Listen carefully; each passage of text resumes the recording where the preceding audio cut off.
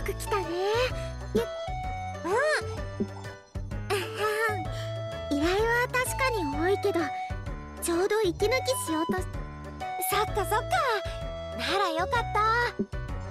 さすがはお母さん。史上最高の誉れも高く人々ややめてよ。はい。この花 ところでお母さんどんな依頼がのとね。爆弾の調合でしょ？あとタイの。タイ多くない？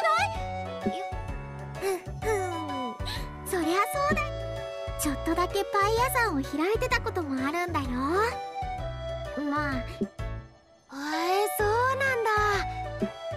それこそ偉大なるパイ職人ロロナ様。パイの納品をよ。これもん？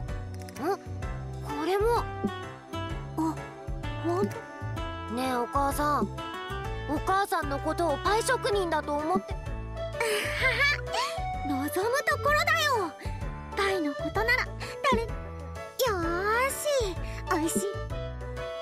パイ職人でもいいんだ。さすよしそう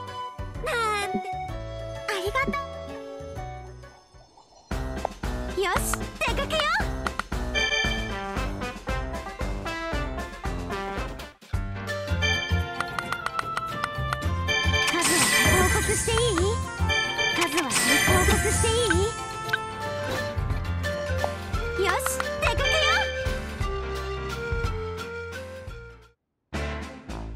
ステルクさん！ん？君たちか。ちょっと聞きたいことがあって。ステルクさん前にビントシュトーネについて調べてましたよね。ああ確かにその通りだが私ビントシュトーネの羽が欲しいんです。スティアを友達を治すために。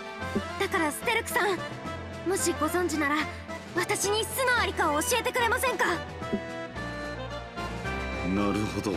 ビントシュトーネはとても強力な魔物だ。ありとあらゆるものをその翼で投げ払ってしまう。その危険さゆえに警備団でも手出しはできず。監視屈強な戦士が束になってかかっても太刀打ちできるかはわからないそのような相手に君はもちろんです。私は絶対にスティアを助けたいんです。スティアのためなら私何だってします。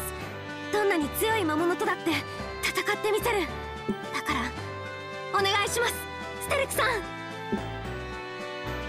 やれやれ言い出すと聞かないのは母親譲りかシュテルコーチ。あの険しい雪山の頂上にビントシュトーネはいる。シュテルコーチですね。わかりました。よし。待ちたまえ。え？いいんです。私には言う。それにシュテルコーチには少々因縁があってな。もちろんです。うん。そうだね。ルルアちゃん。ステルクさんのことは私が駆け出しの頃すっごい高い雇用費を取ったんだからその分を返してもらわないと。な君はまだ根に持ってその話は済んだはずだろう。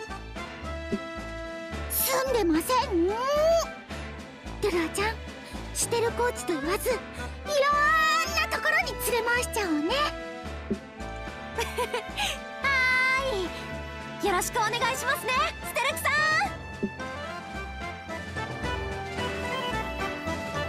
ん。おい君たち待て。まっ